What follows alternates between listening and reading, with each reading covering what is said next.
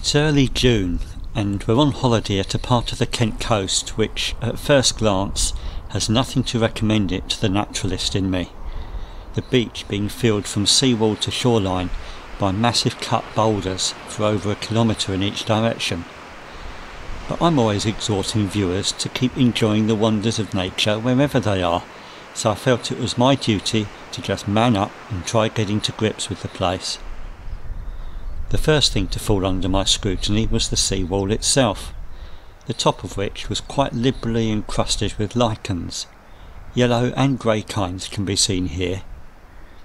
Strange things lichens.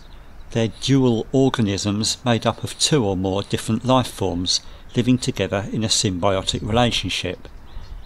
Most are formed from a partnership between a fungus and an alga. I found animal life on the wall too, most notably in the form of these little red spider mites. Looks like a couple of them have a momentary spat over hole ownership. Let's see that again. Here we go. Get out, it's mine. Brilliant. Here's a closer shot of a spider mite emerging from another hole by some lichen.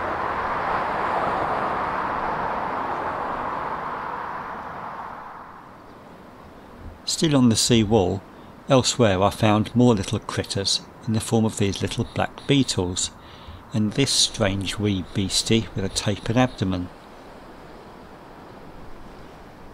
Down some steps towards the shoreline I spotted these two little isopods, which I believe to be what are known as sea slaters.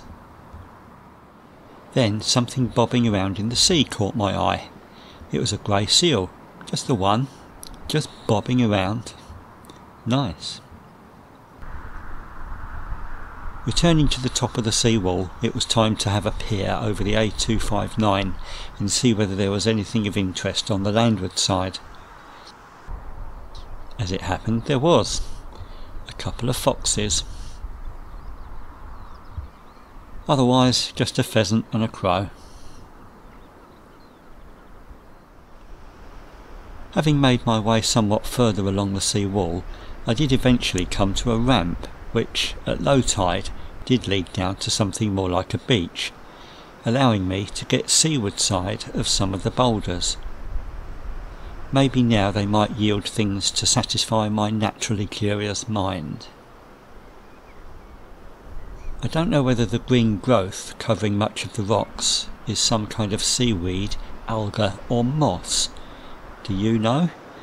If so, do let me know either in the comments or via the Facebook page. The clumps of brown seaweed are familiar to me. They're bladder bladderwrack, so called because they have conspicuous bulbous air bladders. And here we see hundreds of tiny little barnacles and a sandfly.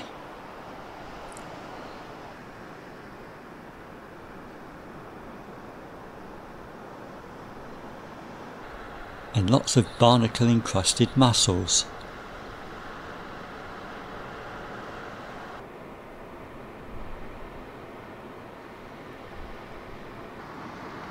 But what's this? Looks like a little dark brown blancmange stuck on the rock, and more jelly-like blobs. But what could they be?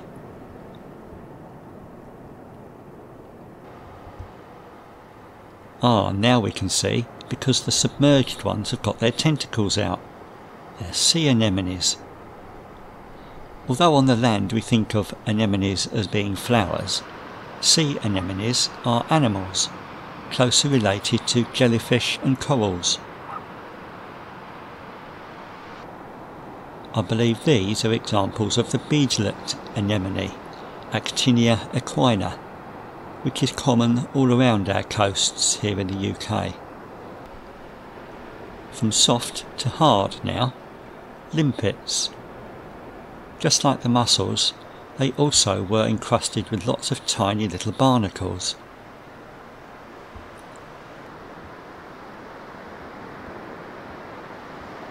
And that pretty much rounded off that day's exploration of the beach. But sometimes it can just be soothing to watch the waves rolling in. So for a while, that's just what I did.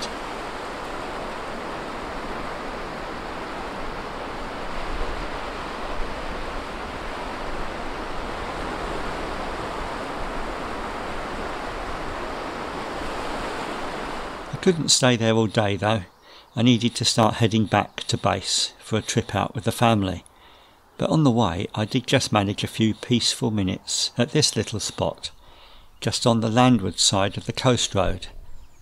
It's where a farm access track crosses one of the drainage channels from the Romney Marsh.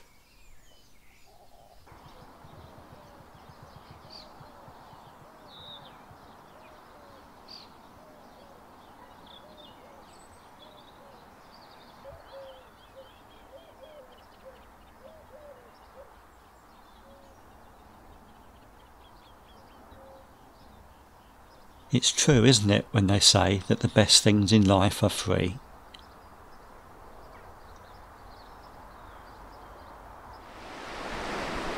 A couple of days later, I returned to the same spot on the beach where I'd filmed the sea anemones. Only this time, due to the tide not yet having dropped enough, the bottom of the ramp was still under water.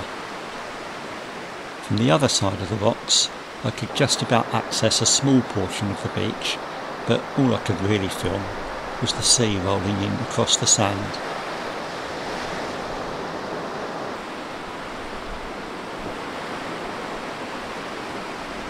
Thanks for watching. I hope this has shown you that even in seemingly barren places, there's still interesting wonders of nature to be found. You just need to know how and where to look.